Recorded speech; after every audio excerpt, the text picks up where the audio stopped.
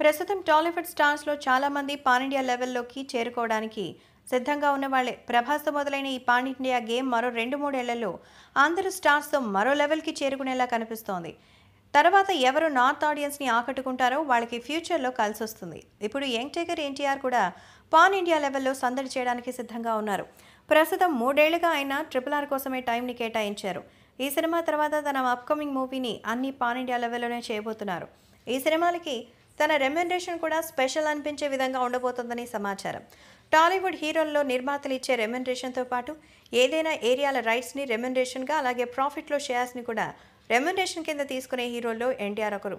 ప్రస్తుతం చేస్తున్న triple cinema కోసం రెమ్యునరేషన్ కింద ముప్పై కోట్లు అందుకోబోతున్నారు.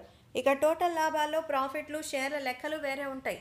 ఇక ఈ సినిమా తర్వాత కొరటాల శివ డైరెక్షన్లో చేస్తున్న సినిమా కోసం అలాగే ప్రశాంత్ నీల్లో చేస్తున్న అప్కమింగ్ సినిమా కోసం ఎన్టీఆర్ దాదాపు నలభై కోట్ల పైనే తీసుకోబోతున్నట్టుగా తెలుస్తోంది.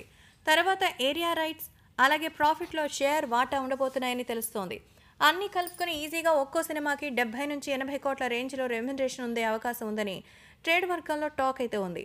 ఎన్టీఆర్ అనే కాదు ప్రస్తుతం టాలీవుడ్ స్టార్స్ అందరూ కూడా రెమ్యునరేషన్ రే ఏరియా రైట్స్తో పాటు ప్రాఫిట్ షేర్స్ని తీసుకుంటున్నారు.